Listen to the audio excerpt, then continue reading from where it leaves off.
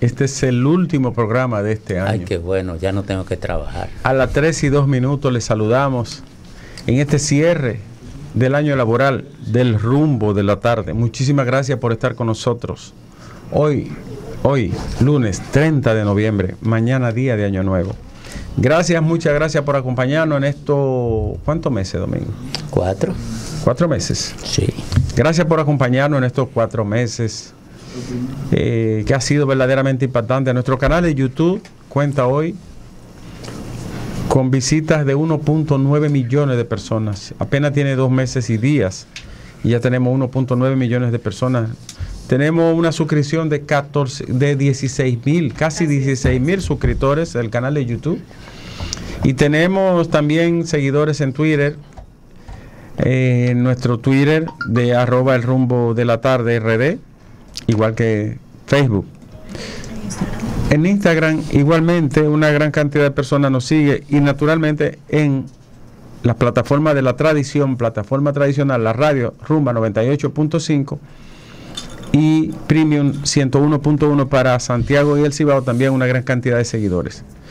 No nos queda más que abrir la ventana de este día dándole la gracia a toda la gente que nos ha seguido desde entonces y prometerles cada día ser más fiel a nuestro trabajo, a ustedes, a su audiencia y a los mejores contenidos de aquí de esta empresa y del rumbo de la tarde. Don Andrés. Fiel sobre todo a la verdad, fiel a los sentimientos más puros en relación con el deseo de bienestar y de progreso común, fiel con la eh, honestidad y con una idea de la ética, no que sea solo un discurso de deseo, no que sea solo una visión idílica de lo que la realidad nos proporciona, sino una idea de la ética actuante, porque mucha gente piensa que quienes desean vivir en una sociedad diferente, en la cual la práctica de la política sea otra cosa, son soñadores, son imaginativos, eh, son gente que no tienen los pies en la tierra. Y no es así ni el dominicano es un corrupto por naturaleza genética, ni tampoco la corrupción tiene obligatoriamente que normar la vida de quienes administran el aparato del Estado.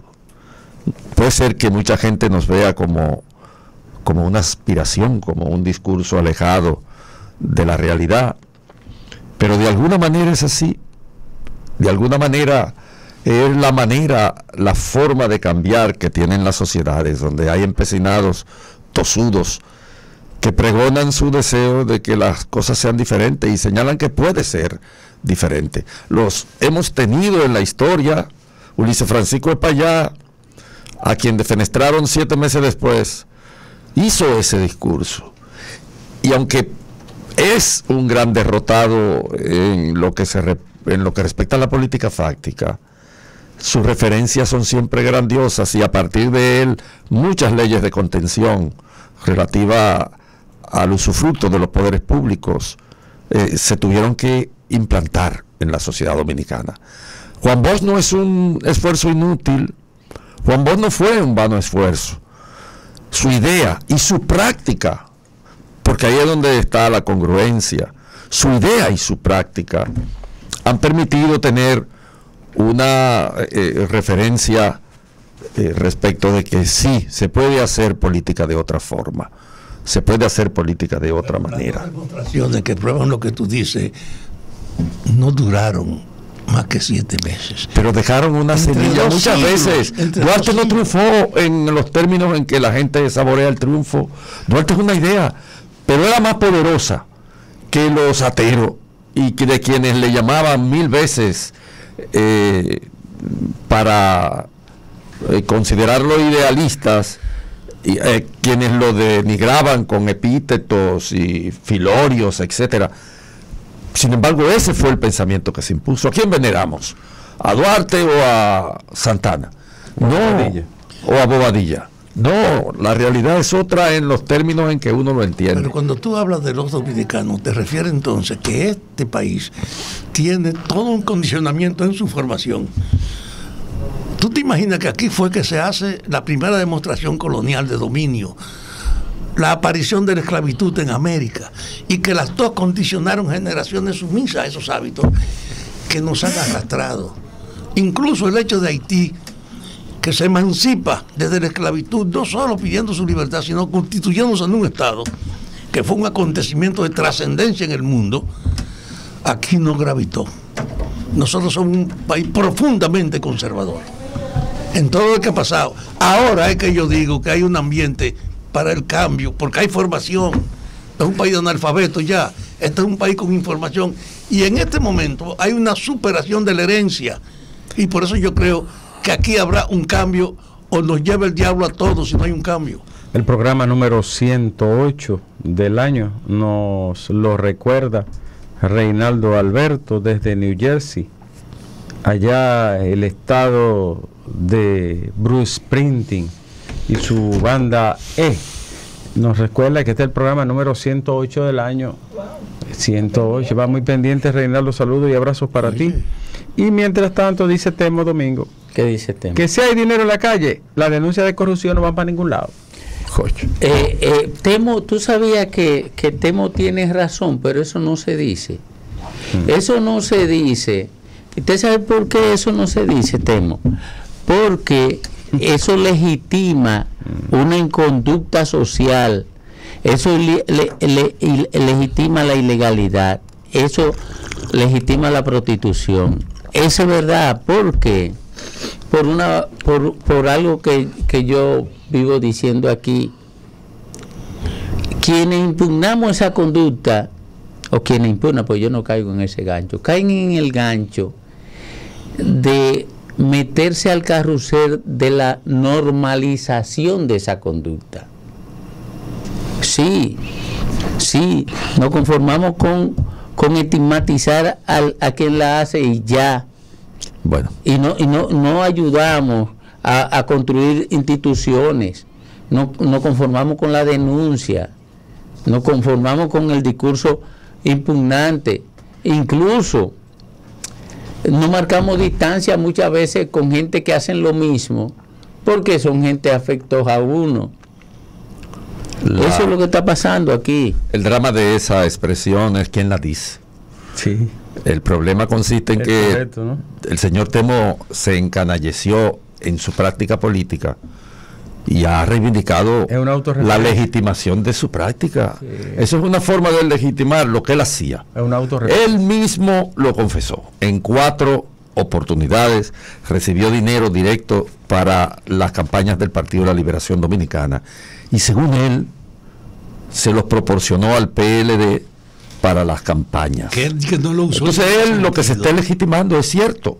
Y además él tiene sentido. ¿Por qué? Porque la sociedad dominicana está encan- encanallecida. Eso es la verdad. El encanallecimiento de la sociedad lo propician los dirigentes políticos en este país. Y, y han convertido el Estado en un instrumento para eso. y para enriquecerse en el plano personal. Pero- Óyeme, yo conozco a Temo, el domingo, el sábado nos vimos en el supermercado y nos pusimos a hablar, porque somos amigos desde cuando se formó aquella organización de carácter de estudios pedagógicos educativos, donde estaba Josefina Pimentel, Ramón Flores, eh, donde estaba Fernando Gando, eh, y él era el presidente de esa institución.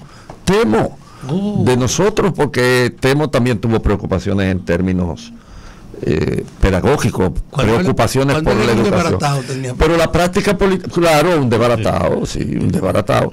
Pero la práctica política termina encanalleciendo aquí a las personas. Pero a mí me apena mucho, y lo digo sin ánimo de, de zaherirlo ni de agredirlo, pero llegar a esa edad de la vida, porque el tema por debe de tener 70 años, ¿verdad que sí? un poco más, mucho más. ¿Usted cree que yo voy a llegar a los 70 años y le voy a decir a mis nietos y a mis hijos y a los niños que me están escuchando y viendo que sí se puede robar porque si hay dinero Si hay cuarto en la si hay calle, cuarto en la calle no ya eso. importa. Óyeme, llegar a ese nivel y a esa edad cuando ya lo que le quedan a uno son añitos de vida y, de- y lle- y arrastrar esa cruz y ese fardo pesado y decirle y estrujarle a la sociedad que se puede ser delincuente y Pues- puede haber actos de corrupción, eso no importa, lo importante es que haya borona en la calle. Señores, Eso, pero- es mucho desparpajo, es un tremendo desparpajo y es un descaro muy grande. Pero ahí está también el deseo de él, de que este país no haya alterado esa conducta.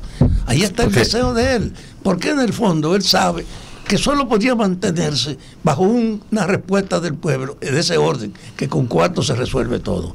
Y yo le quiero decir a ustedes, siendo un testigo ininterrumpido de la política desde la muerte de Trujillo, que yo nunca había visto lo que existe ahora, que es la expansión de un sentimiento, aunque esté todavía atomizado. La gente está contra el continuismo del PLD. Y en ese sentido, en todo el orden. Mira. Y además, yo le digo a la gente, no puede manejarse el pueblo con la idea de que esta es la continuidad de ese atraso. Porque el papel que tienen los medios de comunicación y sobre todo el teléfono, hay una parte creciente de la población que está al día de lo que pasa, que conoce las opiniones sobre lo que ve. Y desde ese punto de vista, yo le digo, y me la sigo jugando, esta vez habrá cambio o nos lleve el diablo, porque la gente va a estar en eso. te voy a hacer una pregunta. No, varias preguntas, si me lo permiten Andrés y Ricardo. Eh, Latinoamérica es más conservadora más liberal en estos momentos. ¿Tú me preguntas? Sí, te pregunto. Yo te digo. ¿Más conservador o más liberal? Ha habido un cambio en la. No, no, tú no me estás contestando, me estás claro, la respuesta. ¿Es más conservadora o más liberal en este momento? América Latina es más liberal al margen de sus propios partidos, porque hay una desarticulación en América Latina. Entonces, ¿cómo tú me explicas que las masas se estén volcando hacia los conservadores? ¿Cuáles masas? Bueno, Búscala, En Colombia hay una rebelión contra el gobierno, el poder. pero, en Ecuador ha habido una rebelión. Donde se ha producido cambio, con excepción de Argentina recientemente, donde se ha producido cambio, todos son conservadores. No, no, lo que mandan, pero ah. no los pueblos. Ah, pues, ah, no, tú me hablado de Latinoamérica. Bueno, bueno, pues entonces, entonces los que son liberales no están participando en los procesos electorales, porque lo que está surgiendo en los procesos electorales son los conservadores. Porque lo que están surgiendo no son de elecciones ahora oye, oye, rebelión. No, no, no, no, no, no, no, no, no, de elecciones. Domingo, ¿tú crees que vamos para atrás? Y yo no, es que yo no creo, no. Te estoy haciendo la pregunta para que aterricemos, para que no, se quede en mi declaración y en la tuya. Problema desde un ángulo y yo lo Ah, bueno, no, porque yo lo que te, digo, yo lo que soy periodista, hoy, a pesar de todas las pleplas, yo no te dice yo que, van a poder imponer. Yo lo que soy periodista. En Argentina, ni en ni en Colombia. Bueno, pues entonces ya yo sé por qué hay, yo sé por qué tú hablas eso, porque entonces tú estás ajeno a lo que está ocurriendo en América. Yo yo quiero retomar el hilo de lo que estaba señalando Ricardo Nieves. Sobre todo porque hay que señalar, hay que apuntar hacia algo que ha sido reiterativo en la sociología eh, conservadora y en la historia de la práctica política de este país, en relación con la visión abstracta del pueblo dominicano se nos quiere hacer vender, en virtud de la preeminencia del autoritarismo histórico en el que hemos vivido, que la corrupción es genética, que forma parte de la cultura del ser dominicano. Y no, la corrupción es un fenómeno histórico, social, que tiene que ver con quienes nos han dirigido. Y que nunca había sido tan golpeado como ahora. ¿eh? Y el nivel de corrupción a que hemos llegado, donde esa práctica está totalmente legitimada, responde a pensamientos como el que Temo eh, despliega, hace circular. Esas ideas puestas en circulación legitiman ante la gente el barrilito, legitiman el robo, porque es una conciencia, una falsa conciencia, en el sentido en que la ideología se define desde Hegel como falsa conciencia. Es decir, es falsa conciencia, es una manera de usted legitimar su propia práctica, la suya. Decir, no, pero el que pasó por, mi, por ministro y no robó es un pendejo, porque aquí todo el mundo roba. El, lo normal es eso, lo anormal es lo otro. Lo, lo anormal es lo otro, pero no. Es que el tema de la corrupción no es genético, no tiene que ver con los genes culturales, con la conciencia del dominicano. la práctica de la corrupción es una falla de la estructura dirigencial del país. No hay que leerse a Ulises Francisco Espallá, Ideas de Bien Patrio, para que vean cuál es el pensamiento de Ulises Francisco Espallá frente a los reclamos de la soldadesca de la restauración, pidiéndole dinero y yendo a buscar cuarto donde el presidente recién electo, un civilista que no tenía conocimiento de la tajada del BOA, ni tampoco se había percatado de cómo funcionaba el Estado, la tradición del Estado, en el nivel dirigencial. La restauración es en este país la verdadera independencia. Y generó el partidismo político, el primer partidismo político y generó el caudillismo. Todas las estructuras caudillistas y los partidos tradicionales de este país vienen de la restauración. Y vienen en el sentido más positivo que podamos interpretarlo, pero también en el más negativo, en el de que descubre un Ulises Francisco Espallá, situado frente a esa realidad y dice, coño, pues esto no se puede, yo tengo que dejar esta vaina, porque todos los generales que me piden audiencia es para pedirme cuarto, es para pedirme canonjía, eh, eh, prebenda, dinero, eh, cosas, porque esa es la práctica que nosotros heredamos ya desde la restauración. Dirigentes vinculados al aparato del Estado para enriquecerse personalmente, no por el bien común. Y entonces cuando tú te oyes a un dirigente de, de- de esta categoría decir eso, se encarama en lo que ha sido en nuestro país una deformación del liderazgo y del, el- y del Estado, una deformación. Nada más, nada menos que el presidente de una organización Del política, del no, puede ser de poder o puede ser de la oposición, porque yo no quiero llevarlo solamente al PLD, porque No. es enajenar al pueblo dominicano, es engañarlo, es estafarlo, decir que solamente es el PLD. El, PL, el pecado del PLD que ha llevado a la corrupción, que ha superado al PRD, que se llamaba PRM, superó al Partido Reformista, que es entelequia que está próximo a desaparecer y que bueno, eh, eh, superó a todos los otros.